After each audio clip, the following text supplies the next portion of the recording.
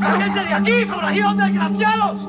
¡Váyanse a su tierra! ¡No queremos intrusos ni vagabundos en este barrio! ¡Lárguense al lugar de donde los echaron! ¿dónde crees que vas con eso? ¿Eh? Juan, no vas a cometer una locura. Plomo les voy a dar a esos desgraciados. Tengan razón de llamarnos forajidos. Quítate. No, no, eso sería un disparate, hombre. No podemos hacerle eso. ¿Cómo Quítate. crees? ¿Qué? ¿Vamos a permitir que nos acaben la casa a punta de pedradas? Quítate. Juan, dame eso. Yo me encargo de alejarlos. Tú no vas a salir, eres muy bruto. Puedes cometer una locura, Juan. ¡Dame eso, Juan! Por favor, Juan.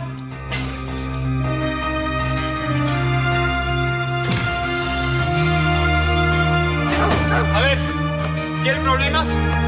Váyanse de aquí y les vuelo la tapa de los sesos. ¡Que se vayan!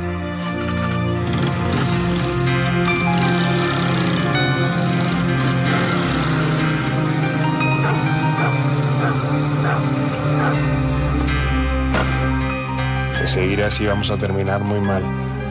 Podríamos terminar muy bien, pero tú eres más terco que una mula, hombre.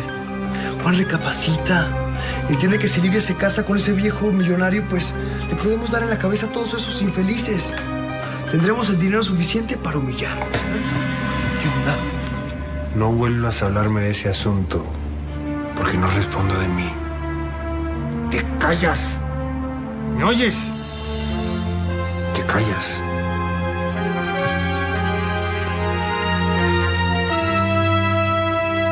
Sí, me callo.